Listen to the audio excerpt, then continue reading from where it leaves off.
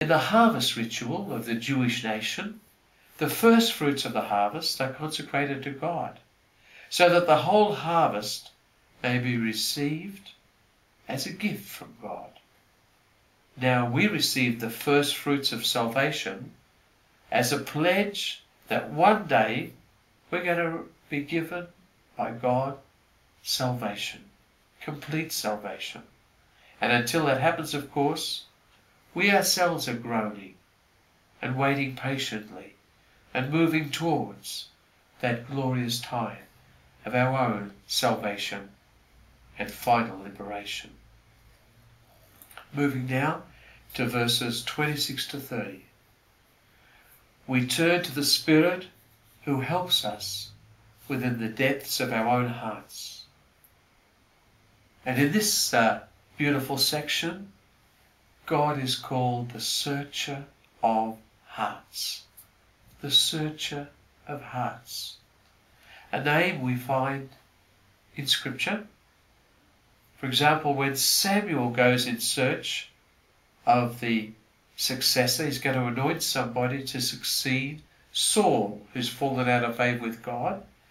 He asks Jesse to, I want to have a look at all your sons.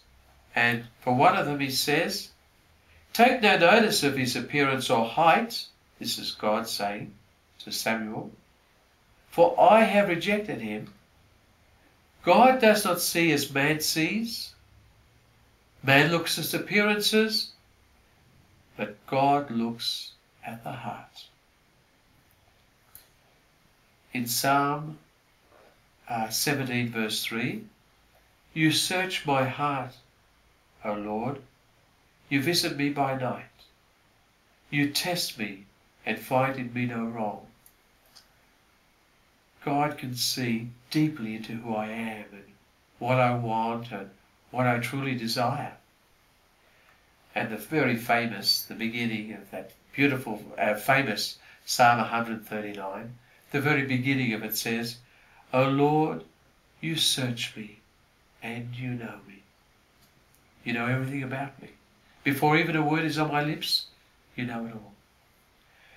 So, God knows us more intimately than we know ourselves. He knows our needs better than we do. And that's why, Paul says in verse 26, when we can't choose words in order to pray properly, the Spirit Himself expresses our plea in a way that can't be put into words. Isn't that a most beautiful thing?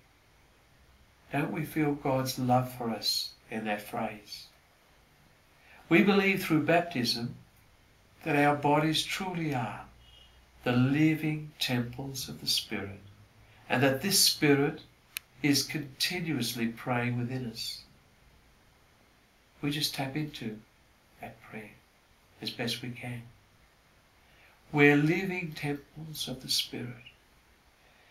Contemplatives are aware of this truth. By stilling their minds and hearts, they become aware of the God within, and they enter into deep communion, union, communion with this mystery. So there's no distinction between them and God. It's all one. It's all one. And the church has a deep sense of this too. When we pray the prayer of the church, we're joining into the ceaseless prayer of Jesus, high priest, praying in us and praying in the heart of every living creature. We shouldn't try to distinguish, incidentally, between the ceaseless prayer of the Spirit and the ceaseless prayer of Jesus, because it's the one mystery of the divine within us.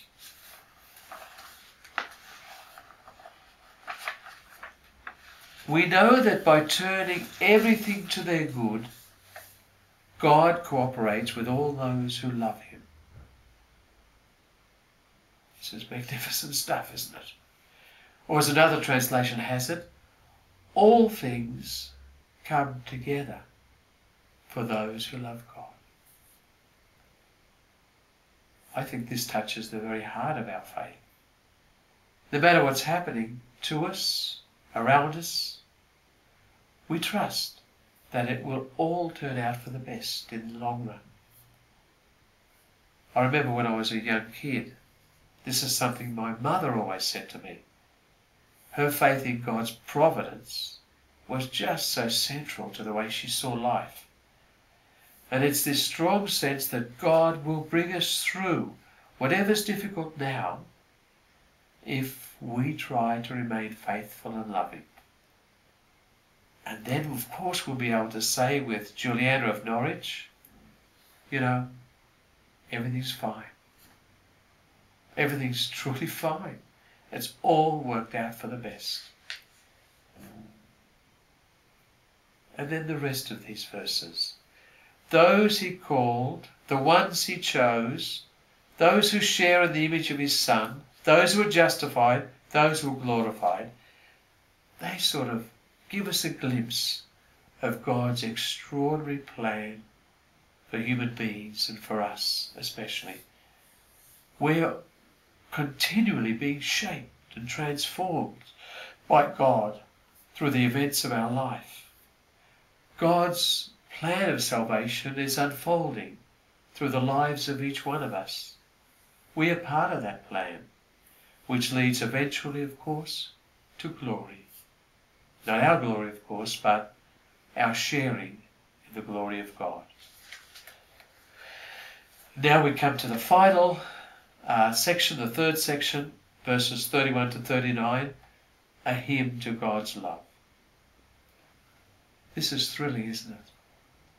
This, these extraordinary verses, this climax to this great chapter. And in the words of Bishop Tom Wright again, these verses deserve to be written in letters of fire on the living tablets of our hearts. With God on our side, who can be against us? Well, of course, this is a magnificent phrase for how we approach life. God's on our side, of course God is. Therefore, have no fear. And we understand totally, don't we, that the opposite of faith is fear. So we have faith because God's on our side. But the context of this is not just how we approach life, but the very context of what Paul is, is uh, talking about here is the last judgments. And he's saying that God's not going to judge us because God didn't spare his own son, but he gave him up to benefit us all. So if God's like that, he's not going to judge you and me. Now, isn't that moving? God giving us His Son, entrusting His Son to us, to each one of us. Father Brendan Byrne makes this very moving comment. Nowhere else does Paul state the vulnerability of God, the vulnerability to which God exposed himself so poignantly as here. So God's not going to condemn us, neither will Jesus. He, he not only died for us, Jesus, he rose from the dead. And there at God's right hand, he stands and pleads for us. What an extraordinary picture of Jesus at the Last Judgment. A little bit different from the Last Judgment scene that we're so familiar with in St. Matthew, where the Son of Man comes as judge. Here, Jesus is pictured, imagined as praying for us, interceding for us, not as judging us. This image of Jesus constantly and continually at God's side praying for us, for you and for me, is a very powerful image. We find it in the letter to the Hebrews his power to save is utterly certain, since he is living forever to intercede for all who come to God through him. Chapter 7, verse 25. And again in Hebrews, Christ has entered heaven itself so that he could appear